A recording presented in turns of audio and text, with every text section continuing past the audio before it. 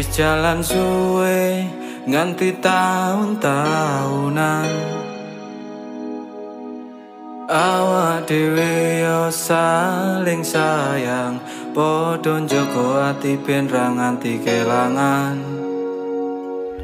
Nanging beda cerita